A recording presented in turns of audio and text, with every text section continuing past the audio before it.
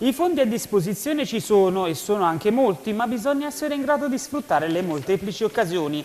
Non usa giri di parole il sottosegretario di Stato al Ministero dell'Economia e delle Finanze Enrico Zanetti, ultimo ospite della Borsa della Ricerca For Sud di scena presso l'Università di Salerno. Nella programmazione europea 2007-2013 la cifra a disposizione corrispondeva a circa 60 miliardi. Adesso abbiamo a disposizione ben 110 miliardi. I soldi devono essere spesi per progetti ragionevoli, mirati soprattutto alla crescita delle infrastrutture materiali e immateriali. Il Sud quindi per ripartire deve far muovere persone, merci e dati. Lo Stato in questo caso come viene in aiuto? Guardi, lo Stato viene in aiuto insieme alle regioni se è in grado di fare in modo che le risorse che ci sono, e che sono molte, perché questo è l'incredibile, le risorse a disposizione sono molte, vengano davvero spese.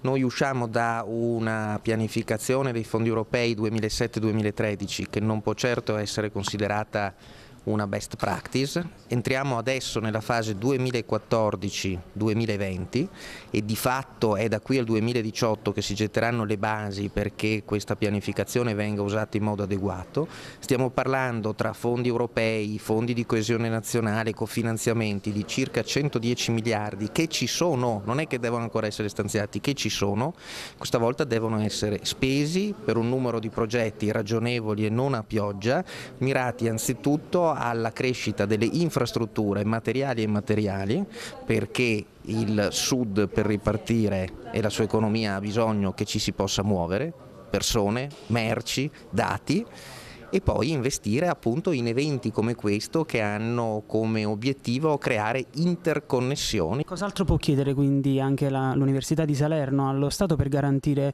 un, un futuro solido anche a quelli che sono i futuri lavoratori?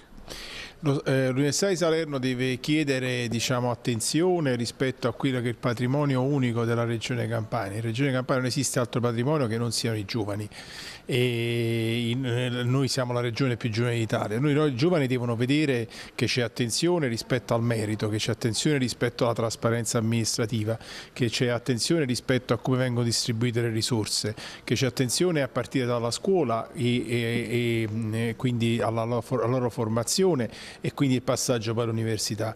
Quindi io, noi crediamo che, eh, diciamo, senza urlare perché non fa parte del nostro modo di essere, ma con determinazione, noi vogliamo semplicemente che il merito e quello che ha fatto l'Ateneo in questi anni si evidenzi.